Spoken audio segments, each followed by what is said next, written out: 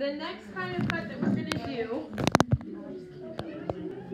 It looks good, but. Mm. Well, this is what's It's inside okay. of a tomato. The next kind of cut we're gonna do is called a T incision. Those are the seeds. Those are the seeds. So guys, for the next layer, most of you have it to the point where your tomato is open from the eye incision.